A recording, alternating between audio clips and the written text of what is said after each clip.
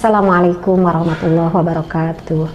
Alhamdulillah kita bertemu lagi di acara curhat bareng Teh Nini. Uh, ini ada pertanyaan dari sahabat Ahwat Fillah.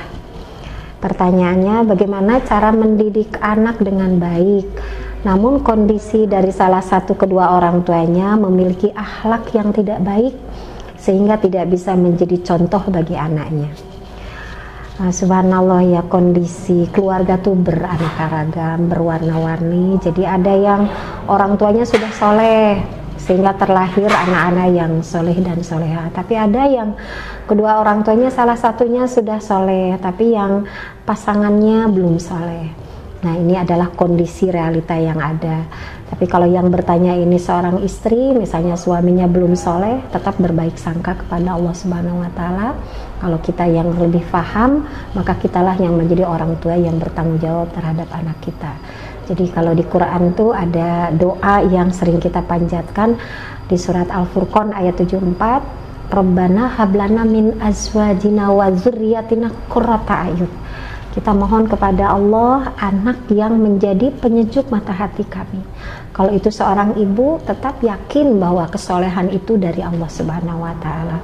Sekalipun ayahnya belum soleh, mudah bagi Allah untuk menyolehkan. Jadi kuncinya ada tiga. Kalau kita sebagai seorang ibu, kalau bapaknya belum jadi contoh, kita lah jadi ibu yang baik. Jadi ada tiga poin bagaimana mendidik anak menjadi anak yang baik. Ada tiga C yang pertama adalah contoh. Siapa saja yang bisa memberikan contoh, berikan yang terbaik. Kemudian yang kedua adalah ada cinta. Jadi memang kepada anak itu harus dengan cinta.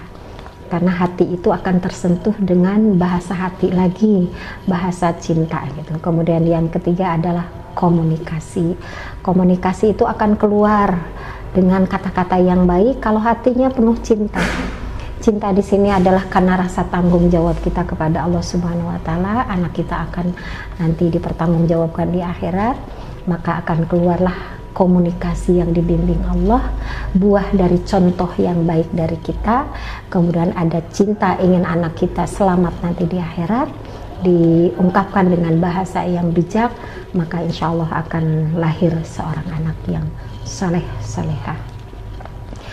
Alhamdulillah mudah-mudahan manfaat. Selamat berjuang memiliki 3C. Contoh, cinta, dan komunikasi. Uh, terima kasih selamat bergabung di fanpage Teh Nini. Insya Allah mudah-mudahan manfaat. Terima kasih. Mohon maaf kalau ada kesalahan. Wassalamualaikum warahmatullahi wabarakatuh.